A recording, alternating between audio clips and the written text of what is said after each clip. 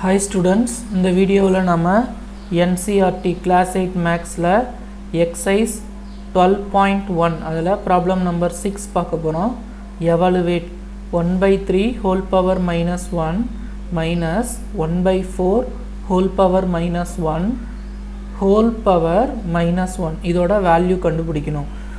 So இதுக்கு ஒரு formula இருக்குது so a by b a by b whole power minus m இந்த formula use பண்ணணும் a by b whole power minus m அப்படின்னா இந்த நம்பரை நம்ம ரெசிப்ரோக்கலாக எழுதுனா பவர் வந்து ப்ளஸ்ஸாக மாறிடும். A b by a so a by Bina b by a so b by a whole power plus m so இந்த ஃபார்முலா படி நம்ம இதில் இருக்கிற ஒரு ஒரு டேர்ம் மாற்றணும் மாற்றும் போது பார்த்தீங்க அப்படின்னா இந்த பவர் வந்து மைனஸ் ஆகிடும் இங்கே வந்து பார்த்தீங்க அப்படின்னா one by three whole power minus one இருக்குது அதை நம்ம மாற்றும் போது three by one whole power minus one இங்கே வந்து மைனஸ் இருக்குது ஸோ சென்டரில் மைனஸ் இங்கே ஒன் பை ஃபோர் சாரி இங்கே ஒன் பை த்ரீயை த்ரீ பை ஒன்னுன்னு மாற்றிட்டா ப்ளஸ் வந்துடும் இல்லையா?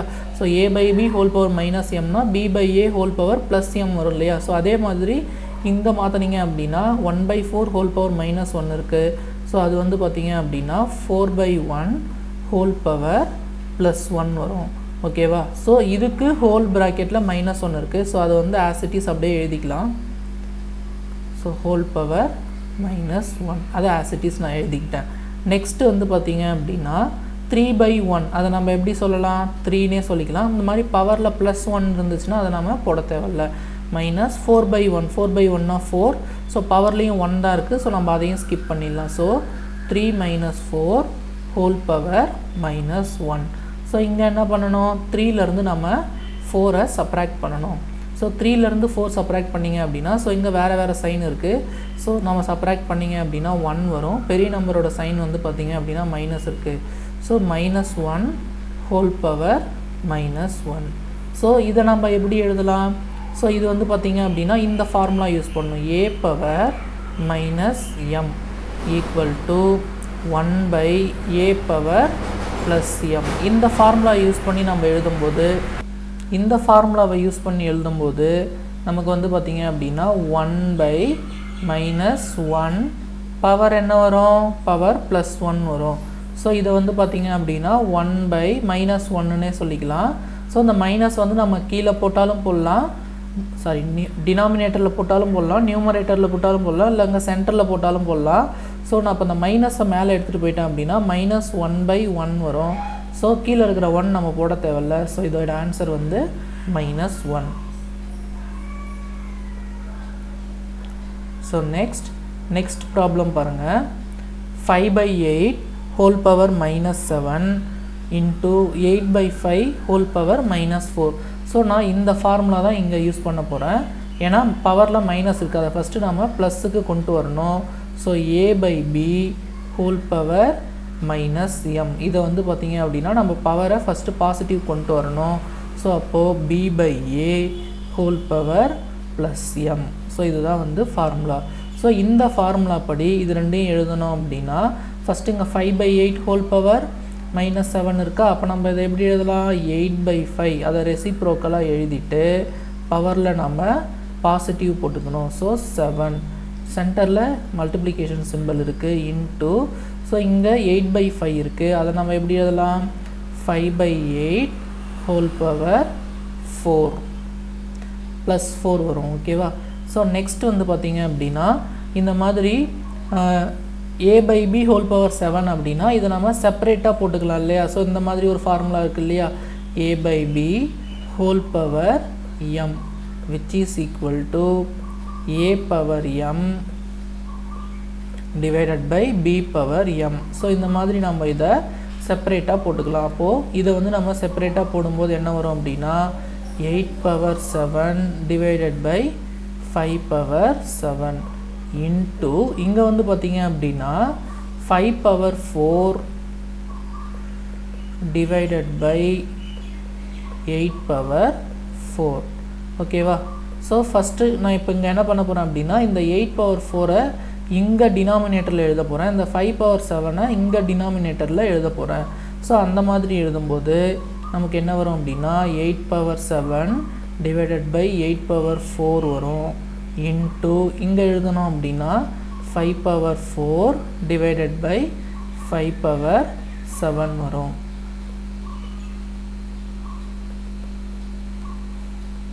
ஸோ நெக்ஸ்ட் வந்து பார்த்தீங்க அப்படின்னா இது எந்த ஃபார்மெட்டில் இருக்குது a power m divided by a a power n so இந்த மாதிரி இருந்துச்சு அப்படின்னா இது நம்ம எப்படி எழுதலாம்? A power m minus n so இந்த மாதிரி நம்ம எழுதும்போது eight power seven minus four வரும் இல்லையா? அந்த சைடு இந்த சைடு வந்து பார்த்தீங்க அப்படின்னா eight power seven minus four into இந்த சைடு வந்து பார்த்தீங்க அப்படின்னா five power four minus seven so இங்கே நம்ம eight power seven minus four பண்ணணும். ஸோ செவனில் ஃபோர் சப்ராக்ட் பண்ணோம் அப்படின்னா த்ரீ வரும். இன்ட்டு ஃபைவ் பவர் இங்கே வந்து பார்த்தீங்க அப்படின்னா ஃபோர்லேருந்து செவன் சப்ராக்ட் பண்ணும் so plus four minus seven இருக்குது ஸோ இங்கே சப்ராக்ட் பண்ணிங்க அப்படின்னா த்ரீ வரும். பட் பெரிய நம்பரோட சைன் வந்து பார்த்திங்கன்னா மைனஸ் வரும். ஓகேவா ஸோ நெக்ஸ்ட் வந்து பார்த்தீங்க அப்படின்னா எயிட் கியூப் ஆசிட்டிஸ் எழுதிக்கோங்க. இந்த ஃபைவ் க்யூப்பை நம்ம எப்படி எழுதலாம்? இப்போ இப்படி ஒரு ஃபார்முலா இருக்கு இல்லையா? A power minus m equal to one by a power plus m இந்த ஃபார்முலா படி இதை எழுதுனீங்க அப்படின்னா ஸோ அப்போ இது என்ன வரும்? Eight power three divided by one by five power three வரும். ஸோ இதில் நம்ம எயிட் க்யூபோட வேல்யூ கண்டுபிடிக்கணும். ஸோ எயிட் க்யூப் வந்து பார்த்தீங்க அப்படின்னா eight into eight into eight so eight எயிட்ஸாக sixty four வரும். சிக்ஸ்டி ஃபோரை நம்ம எயிட் கூட மல்டிப்ளை பண்ணணும். So four eights are thirty two carry over three six eights are forty eight fifty one so five hundred and twelve so eight power three வந்து பார்த்திங்க அப்படின்னா five hundred and twelve divided by five cube நமக்கு தெரியும் இல்லையா? Hundred and twenty five so இதுதான் final answer so நான் one more time explain பண்ணுறேன் இங்கே வந்து பார்த்தீங்க அப்படின்னா five by eight whole power minus seven இருக்குது இங்கே eight by five whole power minus four இருக்குது ஃபஸ்ட்டு நம்ம பவரை ப்ளஸ்ஸாக மாற்றணும் ஸோ பவரை ப்ளஸ்ஸாக மாற்றணும் அப்படின்னா ரெசிப்ரோக்கலாக எழுதினாலே பவர் வந்து ப்ளஸ்ஸாக மாறிடும். ஸோ இதுதான் அதுக்கு formula so eight by seven power seven into five by eight power four so இதை நம்ம ஸ்ப்ளிட் பண்ணி எழுதிக்கலாம். Eight by seven five power seven எழுதிக்கலாம். Five power four eight power ஃபோர்னு எழுதிக்கலாம். ஸோ இந்த மாதிரி ஸ்ப்ளிட் பண்ணி எழுதும்போது நான் இங்கே வந்து பார்த்திங்க அப்படின்னா எயிட் இங்கே எயிட் பவர் செவன் இருக்குது ஸோ கீழேயும் எயிட் பவர் செவன் வர மாதிரி மாற்றணும் அப்படின்னா அந்த எயிட் பவர் ஃபோரை இங்கே கொண்டு வந்துட்டேன். அப்போ eight power seven by eight power four இங்கே வந்து பார்த்திங்க அப்படின்னா five power four by five power seven எடுத்துகிட்டு வந்துட்டேன். ஸோ இப்போது இந்த ஃபார்முலா படி எழுதணும் அப்படின்னா பேஸ் ஒரே மாதிரி இருந்து டிவைட் பண்ணோம் அப்படின்னா நம்ம பவரை சப்ராக்ட் பண்ணிக்கலாம். ஸோ அந்த மாதிரி பவர் சப்ராக்ட் பண்ணும்போது எயிட் பவர் இங்கே செவன் மைனஸ் ஃபோர் வரும் இங்கே ஃபோர் மைனஸ் செவன் வரும். இங்கே செவன் மைனஸ் ஃபோர் நெக்ஸ்ட் வந்து பார்த்திங்க அப்படின்னா இங்கே four minus seven so seven minus ஃபோர்னா plus three five four minus செவன்னா minus three again இங்கே மைனஸ் வந்துடுச்சு.